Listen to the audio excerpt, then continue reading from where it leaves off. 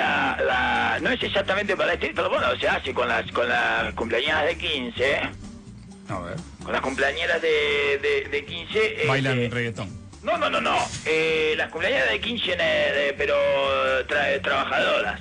O sea, hija, hija de proletario, como Andrade y todo, tienen, tienen su canción de 15, pero, pero de Bilietide. ¿En serio? Sí, claro. Bueno, me falta mucho, me van a decir que me falta pueblo, me falta trabajador, pero nunca la escuché. Hace 20 años que vi una fiesta de 15 también, ¿no? Sí, claro, seguramente. Lleva tal vez tu día, compañero, al corazón valiente del obrero. Y aunque el patrón oprima todos nuestros sueños, pondrá el DJ a los solimareños.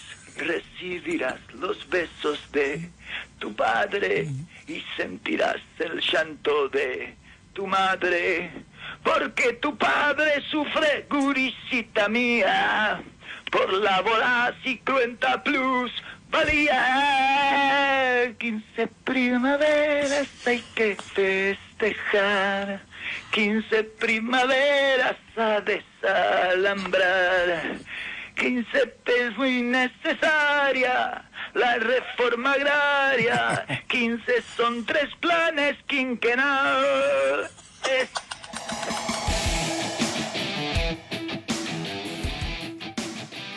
No, pero vos, vos le... Esto es para la Catalina. No, esto era, esto lo escribí para un huevo, para una revista de Pablito Aguirrezábal. Ah, está, pero- que, y, y sí, y lo hice, lo, lo, lo refrité, porque soy una máquina de refritar cosas. ¿Ah, sí? Sí, Ah, sí, sí. una especie de autoplagio. El así. guionista refrita permanentemente. Pero nunca el mismo chiste. O... Sí, Ah, muchas veces el mismo chiste. bueno, muchas veces, bueno. muchísimas veces el mismo chiste. Sigue funcionando, En claro. búsqueda, eh, en la radio, a veces, te- a veces lo saco de la radio para búsqueda y después lo saco de búsqueda para la Lo único que radio. nos pasaba, por ejemplo, en el backstage, cuando actuaba eh, el, el o, o el turco, esperábamos algún chiste que nos gustaba, esperábamos en el backstage el chiste para volver a reírnos por enésima vez del mismo chiste. Ah, lo esperaban. Bueno, claro, Claro, claro, claro, sí. sí. Porque eso es decir, el, el humor es sorpresa, no mentira. Hay una cosa rara también ahí, que es que el humor es la confirmación de lo que uno está esperando muchas veces. Eh, El gag, por ejemplo, el- un gag reiterado de un, de un artista. de una Totalmente. Bueno, eh, lo más claro, o sea, lo más evidente de eso es Olmedo. Claro. ¿Por qué nos reíamos cuando decía éramos tan pobres si lo decía siempre? Justamente por eso, porque vos estás esperando que el tipo vaya para ahí, va para ahí y hay como una risa de... Me parece que es como una cosa infantil que tenemos. Sí, ¿Viste encanta- que el niño hay que con- repetirle? Totalmente. No, me encanta hablar contigo porque, eh, viste, cu- cuando alguien dice lo, lo que vos pensás, Sí. es una persona inteligente. Claro, por supuesto. En realidad estás de acuerdo, ¿No ves que obviamente. que- que- No, no. que está diciendo lo que vos. Es que estás de acuerdo. Exactamente. Sí, y la hay- gente se ríe más cuando está de acuerdo. Claro, totalmente, claro. Eso, eso te diste cuenta Sí, en. Tu, en tu pasaje o, por el estándar. sí, o cuando dice algo que no se anima a decir. También, que también. El fondo lo piensa es una risita más socarrona. Pero está de acuerdo. Claro. La gente cuando está de acuerdo Bueno, hay, aplaude, te diría. Sí. hay otro elemento que también está muy en boga y, y que, bueno, la realidad demuestra que es muy relativo, este, pero que es casi común. Decir, no, no, el humor tiene que ser inteligente, sino no chabacano. Y es la que, lo que la experiencia en todos nosotros indica es que funciona el humor inteligente en algunas personas y el humor chabacano funciona en todas las personas. Sí, ¿no? yo te voy a como- decir más todavía. Para mí no existe el humor inteligente. Para mí el humor inteligente es una mentira de la gente que no es graciosa. Eh, para justificar que no es graciosa. Es- Claro. No te reíste de esto porque es un chiste inteligente, ¿entendés? O sea, te Claro, vas a claro. reír cuando llegues a tu casa. Sí, sí. No, si yo no, con ningún chiste puedes explicar la teoría de la relatividad. Eh, por lo tanto, no existe el humor inteligente. No hay manera de explicar la física cuántica con un chiste. Eh, no considero que sea un No, género. Lelutier explicó el teorema de Tyler, ¿no? Pero nadie entendió nada igual. Bueno, claro, exactamente. Todos nos reímos, nadie entendió el teorema de Sí, Tales. sí, exactamente. Eh, por lo tanto, Pero no yo- es humor eh, inteligente. eh, Tú sos muy joven. no, pero yo recuerdo, esto es verdad, en las primeras películas de Woody Allen nadie se reía. Claro. Yo de algunas cosas me reía. Después me di cuenta que había una clave de humor que exigía otro tipo de... Hay códigos. Tocaba otras cuerdas distintas, ¿no? Hay códigos y, y hay, o sea, y hay marcos teóricos para el humor. Claro. O sea, sí, y hay referencias. Claro. Entonces, dependiendo de.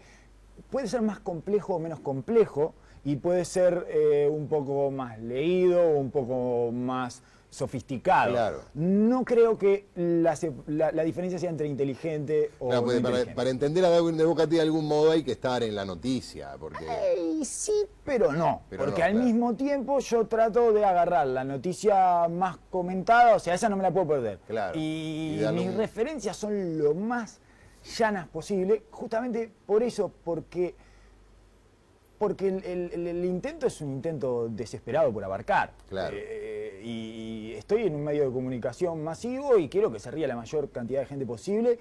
Y a mí me pone contento, me pone muy contento que se ría gente eh, que no comparte mis estímulos y gente que no. eh, que, que ni siquiera piensa como yo. Cuanto más alejado esté de mi pensamiento y se rían, más contento me pongo. Claro. O sea, me parece que es, es eso, es como tirar el, el- el anzuelo más lejos, digamos, ¿no? Eh, y, y- y es, ese es el esfuerzo que hago consciente. Claro, en la radio al que no le gusta, eh, no te escucha. Eh, En el teatro es una cosa distinta que es inexplicable. Vos ves al tipo ahí. Gente que va que sin- Siempre es un gordo pelado, ¿no? Me por qué. Y vos decís, ¿este tipo para qué vino? Está así, ¿viste? Enojado. Está mal, el tipo. Fue a pasarla mal. Fue a pasarla mal. a No se ríe en todo el espectáculo. Después se para y aplaude. Sí, claro, claro, claro, exactamente. Y vos decís, entonces, vos- Claro. O sea, lo que querías era arruinarme la noche a mí nomás. Sí, sí, Claro, sí, sí. claro. Sí, eh, tiene, hay, hay gente que sale como a pasarla mal, la pasa muy mal y después aplaude. Claro, pero pero volvamos sobre el tema del humor inteligente, que a mí es algo, este, porque cuando le ponen, viste, cuando a una disciplina le, le ponen una exigencia, es como que le están cargando, diciendo, no, pero acá, acá me estás haciendo contrabando ideológico, ¿no? Estamos hablando de humor, si a vos te gusta el humor inteligente, problema tuyo. Claro. O, no, a Sí. mí también me gusta, pero, Sí, sí, pero eh, a mí a veces Corona me hace reír, vamos a decir la verdad. Exactamente. Ah, bueno, a mí el, el contrabando en el chiste es una cosa que me molesta, ¿ves? Eso sí no lo puedo tolerar. Claro. El chiste moralizante no lo puedo tolerar. Claro. Eh, el tipo que me está, en realidad me está haciendo su escala de valores, me la está mostrando así, me la está abriendo y la, en o sea, lo que hizo fue contrabandearlo, usar de mula al humor. Claro. Eso no me gusta para nada y me- ahí sí me siento estafado. Claro. Porque es como adoctrinante. Entonces Sí. no, no, no- o sea, lo- me gusta el humor lo más despojado posible. Y en eso puede entrar eso, eh, Yayo, que, que es un tipo que tiene acierto maravilloso y Seguro, que es, claro. es, un, es hiper chabacano y, y bueno, y puede estar, eh, no sé, eh, tipos que, que- que tienen un humor más intelectual o, o más políticamente correcto incluso, como no sé, Stephen Colbert eh, o Jon Stewart o alguno de estos que conducen estos informativos humorísticos, digamos. claro.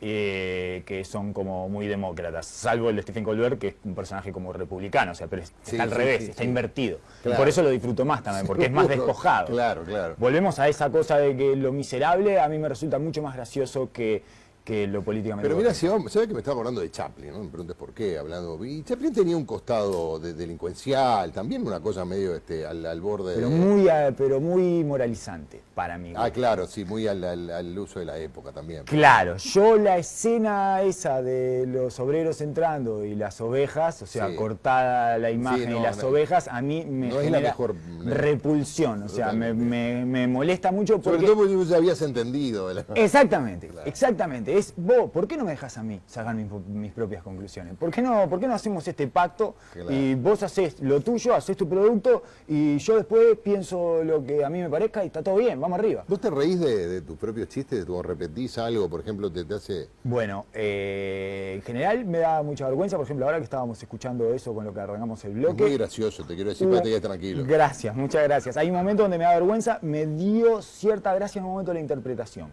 Ah. Eh, es- es- depende siempre de la interpretación, no me río de los chistes. Claro. Eh, me causa gracia la interpretación o no. Eh, en general no, pero hay veces que me sorprende cierto giro de la interpretación, estaba eh, ridículamente cantado y en algún momento me pareció bueno, gracioso. claro. En algún momento, me- pero no los chistes porque En algún momento ya me afinaste. ¿Eh? En algún momento parecía Afiné, afinado. sí, sí, afiné, y es de mañana, ¿eh? y todos los cantores te dicen que No, de, de mañana, mañana no, es claro, muchísimo claro. más difícil, y a capela y todo, y por Mm. teléfono, o sea, cantándole así en teléfono. Después este, también escribí, nada menos que en, en el semanario Búsqueda. Sí. ¿no? Que, este, bueno, Búsqueda tiene humor desde tiempos inmemoriales, Sí. Búsqueda del primer número. Tuvo gente Claro. además muy salada ahí haciendo humor. eh, el, eh, bueno, Aldo Camarota, que fue por quien yo entré, eh, porque se murió. Claro. Eh, que yo siempre le digo a Pablillo y a Ardilla, le digo que, que ustedes no, no echan a los humoristas, se mueren O sea, se mueren y ponen en el espacio. El Cuque Esclavo también se El murió. Cuque, sí, claro, Que, que era un monstruo y que tuve la suerte de conocerlo y que, y que fue hiper generoso conmigo, muy, muy, muy generoso. Así, me dijo cosas que me dan mucha vergüenza repetir.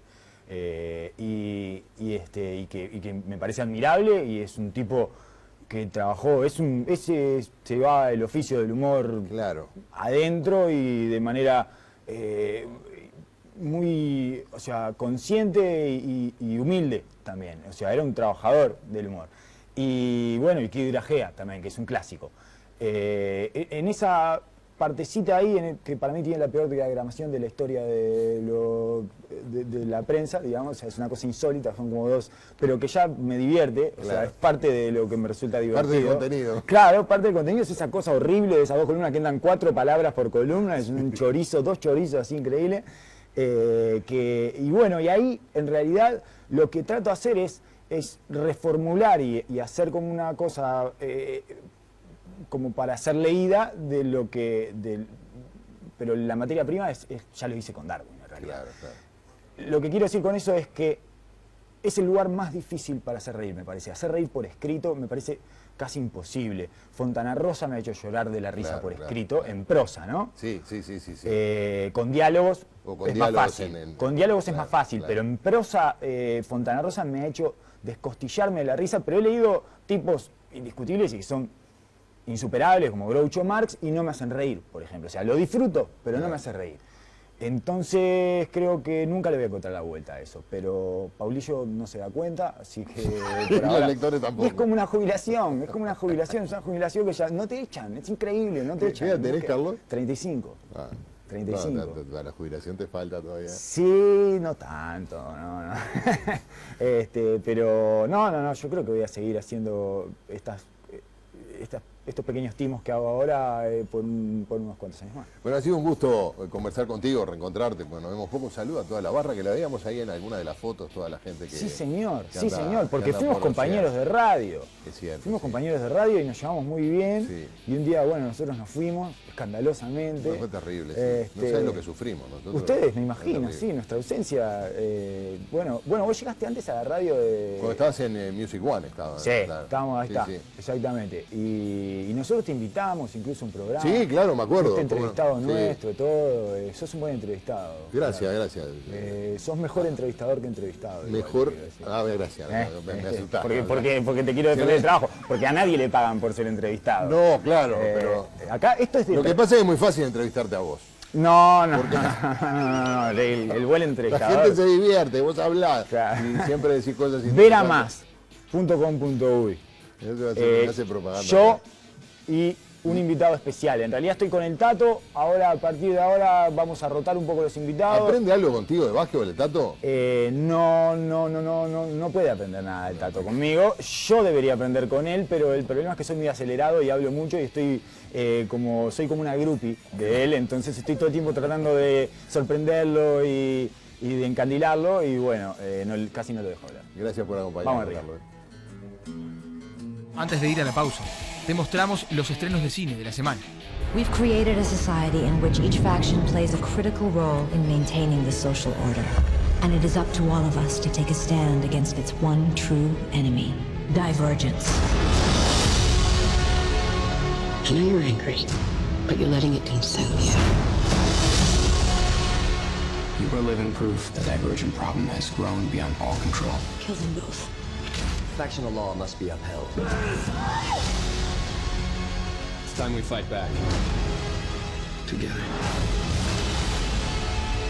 You are the key, Triss. To rescue what little civilization we have left. No pressure. I'm not gonna let you do it.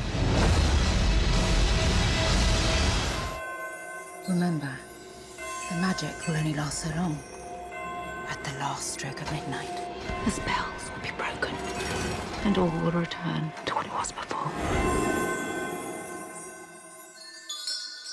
The ragged servant girl is what you are, and that is what you will always be. Cinderwench. Dirty Ella. Cinderella. That's what we'll call you.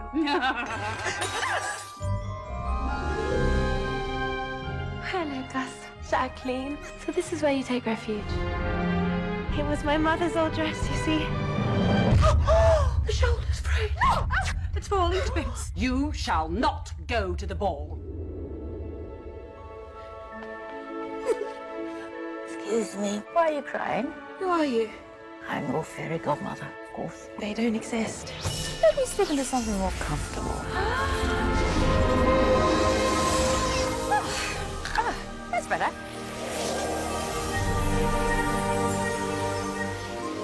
Beautiful. Now off you go. For you shall go to the ball.